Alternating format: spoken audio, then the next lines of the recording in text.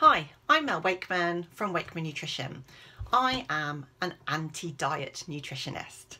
So I have spent 26 years plus studying, teaching, working in the field of nutrition and science tells me that diets don't work. You may get this already that diets don't work.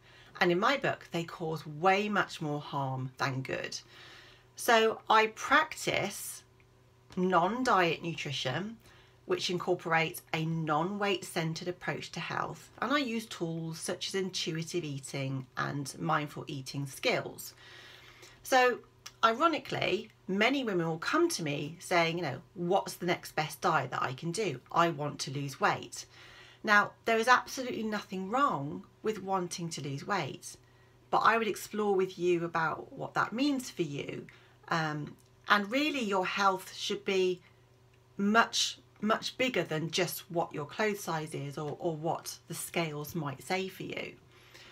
So, when it comes to perhaps learning about intuitive eating, now these teach you how to dial back into your body to be able to listen to it so you know when you're properly hungry. So you learn to distinguish between sort of physical and emotional hunger. You know when to stop when you feel comfortably full. You are able to sort of meet your body's nutritional needs by having a better idea about what you, you actually feel like, what you like and enjoy, and what your body wants and needs in terms of nutrition.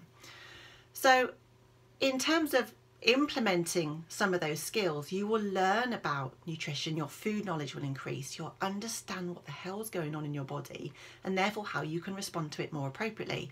So, through that, your eating habits and, and the way that you eat and when you eat may well change. That may get better, and that in itself may result in weight loss.